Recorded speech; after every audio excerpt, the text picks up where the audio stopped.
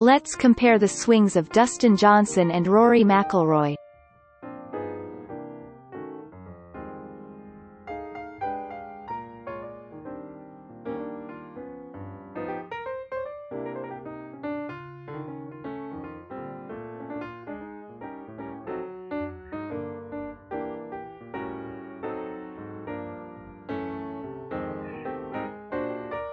Let's see the movement of both pelvis and the change of swing axis.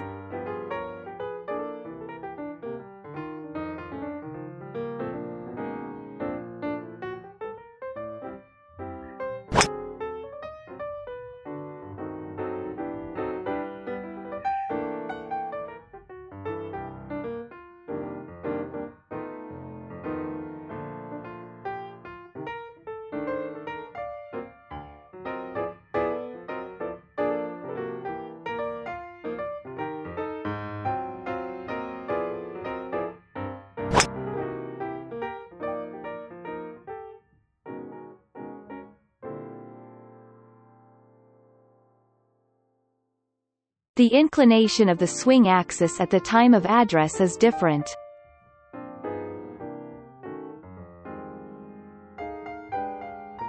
The swing axis is the same as at the address, but the movement of the pelvis is larger in ERM.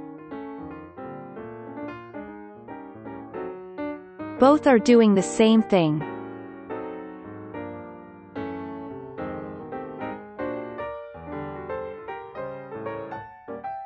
Even in the top swing, the swing axes of both are different.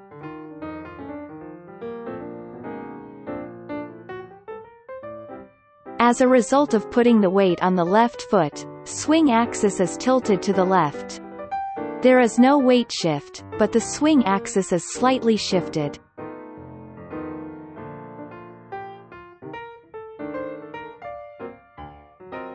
There is no change in the swing axis on P6, but I am worried about the movement of the left knee.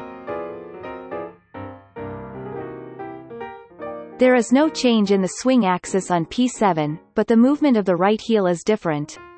The timing of pelvic rotation is not the same.